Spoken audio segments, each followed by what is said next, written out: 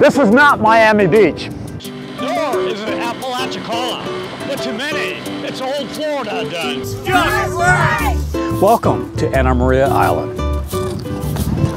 Want some sweet potato fries? Pretty good. Well, that is maybe with the exception of the traffic. But we'll give you tips how to navigate the traffic, like renting a scooter from AMI Beach Fun Rentals at Holmes Beach.